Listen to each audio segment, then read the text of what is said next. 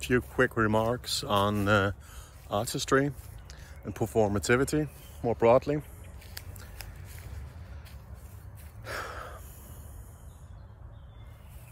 In a secular society, um, where there is no transcendent high, highest to aspire to, um, hero worship of various forms fill that void. One of them, the one I'm most susceptible to as somebody who doesn't really care about sportsmanship and that whole arena, is uh, the cult of the artist, of the genius. Um, and people aspire to create something artistically to, you know, validate their suffering in that way and signal the richness of their inner life. Um, so yeah, I, I don't know if this is gonna be a roast or like some tips for uh, for all my youngins out there who want to get into creative expression. But um, I mean, ninety percent at least of everything that's produced is completely whack, and that's just what it is. Um, especially people doing, you know, superficial imitations. A lot of, you know, trend chasing, and you know, you have a an idea of profoundness without any actual substance, which is, you know, the dictionary definition of pretentiousness. To make the real good stuff, it has to flow from an, a source within you. Um, and obviously it's a performance. I mean, it's not. Um, you are choosing what to put out there, um, and and thus, you know, as a performing artist, you do develop a persona. But to many of us, it is painfully clear if your persona is like an uh, a natural outgrowth of uh, your actual person. Well, a person and persona is probably too close to each other to use like that, of your actual being. Um, persona being a mask, but you know, a mask actually signifying something, or if you're just trying to uh, trying to be something you're not.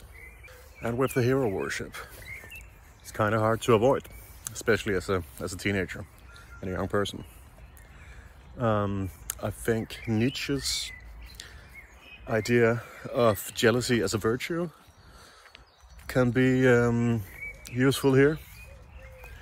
Where in his critique of, um, you know, the completely useless Christianity of his um, his time in the Lutheran Germany, um, you know, you weren't supposed to feel jealous or you know envy other people's abilities and stuff. Um, but he said that, you know, the jealousy is something in you that is calling something forth. You know, there's something in that person, the way that they do something that I want to do. So you can extrapolate from that and not go completely, you know, I want to wear that skin. but, um, but, you know, actually find out what, what speaks to me. Why is this interesting? Why is this something I want to imitate? You know, and go down into those primal things, and not the superficiality of it that uh, spoke to you at first, because it hit you, you know, under your rationalizing mind. Um,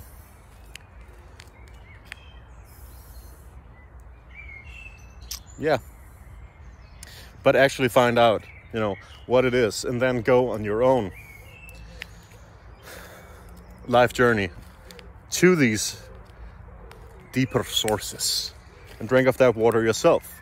And then it can become like an organic work of art flowing out of you.